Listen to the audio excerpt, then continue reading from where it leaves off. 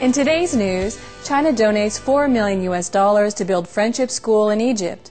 In Veg News, First Vegan Fair in Tampere, Finland raises awareness about the compassionate plant-based diet. Please stay tuned for all this and more on Supreme Master Television, your constructive global TV channel. Today in history, October 16th, Cardinal Karol Joseph Wojtyła was elected the 263rd Roman Catholic Pope in 1978 and was proclaimed Pope John Paul II. Born in Wadowice, Poland on May 18, 1920, His Holiness was the first Polish Pope and was the third longest reigning. He spoke eight languages and traveled more than any Pope in history, having visited 129 countries. Pope John Paul II established World Youth Day in 1985, now a yearly faith renewal event which brings together millions of young individuals from around the globe. May the shining example of His Holiness Pope John Paul II encourage us to create a future of peace, compassion for the generations to come.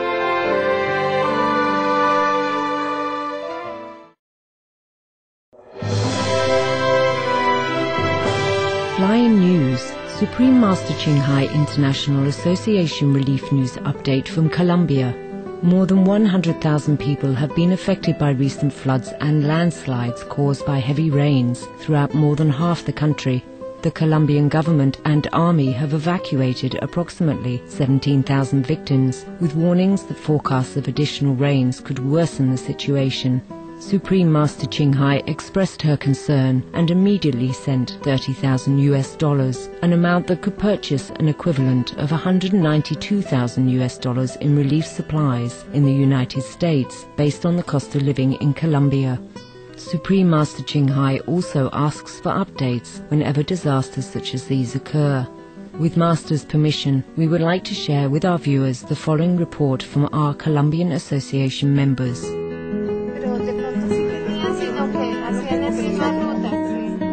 October 14, 2008.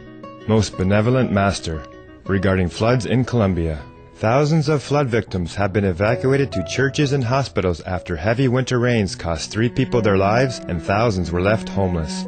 The heavy rains have destroyed infrastructure in hundreds of townships and villages across the country, the most affected being those located in the country's Caribbean coast.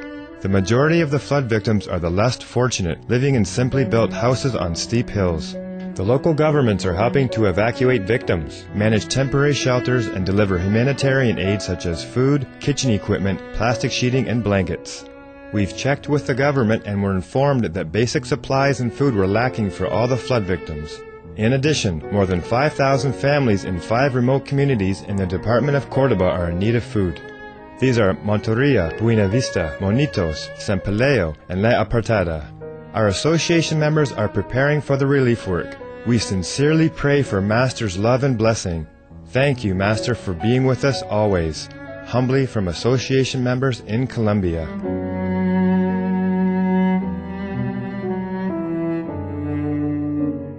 We thank Supreme Master Ching Hai for allowing us to share this report with our viewers who may wish to know more details about the situation for people in Colombia. We also thank our association's foreign group for providing this timely information. Supreme Master Ching Hai's concern and assistance reaches all those in distress no matter where they live. We pray for God's protection of the most vulnerable in Colombia. May your kinder hearts and actions meanwhile bring a safer, more peaceful world.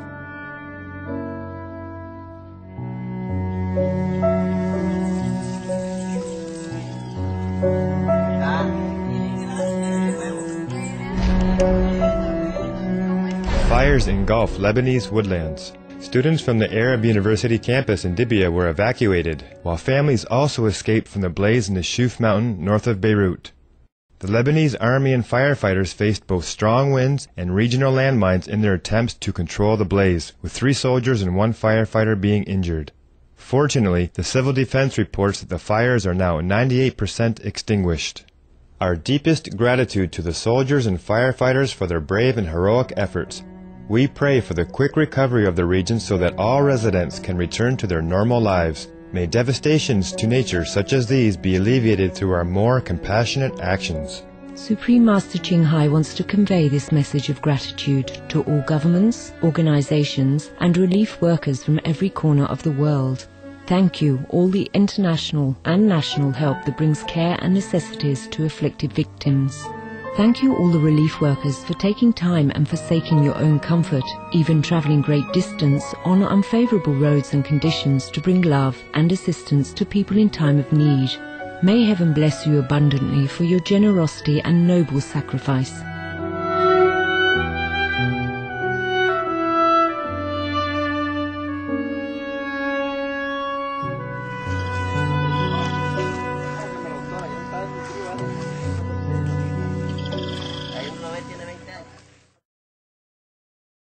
North Korean foreign minister arrives in Russia for nuclear discussions. As part of a delegation, Foreign Minister Pak Ui Chun is meeting with his Russian counterpart Sergei Lavrov to discuss the resuming of six-party talks over North Korea's denuclearization. Following their first day of meeting, the two foreign ministers each affirmed their country's wish to continue bilateral cooperation, with the spokesman later saying that Foreign Minister Lavrov would visit North Korea in 2009. I respectful salute Your Excellencies Russia and North Korea on your fruitful meetings and best wishes for your country's lasting and mutually beneficial friendship. Khan returns to the integrated Israeli town of Acre. Following the visit of President Shimon Peres, along with two chief rabbis and the interior minister, an agreement was made to form an interreligious panel of rabbis and sheikhs to maintain harmony among the town's Arab and Jewish populations.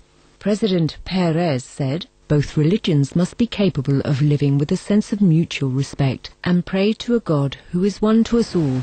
Our sincere appreciation, Your Excellency, and all who are working to restore lasting peace in Acre. May it soon again exemplify a community of shared dignity and understanding among all residents. Canadian Prime Minister re-elected. Prime Minister Stephen Harper has won the popular vote in the general elections and will be extending his term in office. Following the election, the Prime Minister stated, Canadians have voted to move our country forward, and they have done so with confidence in the future. Our congratulations on your re-election, Prime Minister Harper. With heaven's grace, may your guidance bring abundant harmony and prosperity to the Canadian people. Ship and crew rescued near the Somali coast. On Tuesday, Somali Coast Guard and military personnel freed a cargo ship and its crew of two Somalis and nine Syrians near the port of Bosaso. The 11 crew members were released unharmed. To improve security in the region's waters, international agencies such as the North Atlantic Treaty Organization and the European Union are planning to send units to protect and escort vessels such as those carrying food aid to Somalia. Our thankfulness, Somali personnel and all others involved for the safe freedom of the 11 crew members, whom we wish many happy celebrations of life with loved ones. We also appreciate the international organization's commitment to ensuring the protection of future coastal travelers and pray that all may be graced with safe passage. Young hockey talent departs unexpectedly. Alexei Cherepanov, Russia's rising hockey star, passed away suddenly during a game near Moscow at 19 years of age. Mr. Cherepanov apparently collapsed due to a heart condition that had gone unnoticed. The young athlete was part of a national junior team that won a bronze medal in the World Cup last year. New York Rangers general manager Glen Sather, whose team recently selected Mr. Cherepanov for the next season's play, said, Alexei was an intelligent, energetic young man with tremendous talent and an extremely bright future. We are most saddened to hear of the untimely loss of the well-loved Alexei Cherepanov. Our heartfelt sympathies to his family, friends, and teammates. May his soul rest peacefully in heaven's everlasting love. Aravinda Adiga wins the United Kingdom's Man Booker Prize. The 33-year-old Indian author accepted the prestigious literary prize as the youngest contestant this year for his debut novel, The White Tiger. Mr. Adiga stated that the theme of the book, which depicts the life of a rickshaw puller named Balram Halwai, who comes from disadvantaged circumstances, was intended to bring light to the situation of the underprivileged in Indian society. Our sincere accolades, Mr. Aravinda Adiga, for your award of this top literary prize. Best wishes for your authorship in bringing both enjoyment and compassionate reflection to readers worldwide.